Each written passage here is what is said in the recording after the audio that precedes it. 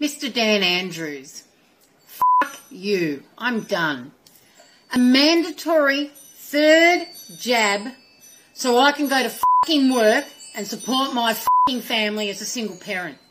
You've got to be kidding me, mate.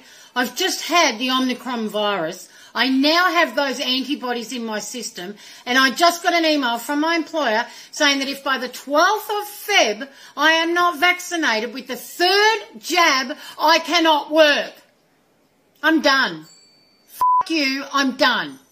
I'm done with this dictatorship. I am done with this communist country. What the fuck has happened to Australia? Where have we gone? I got the first and second one against my better judgment.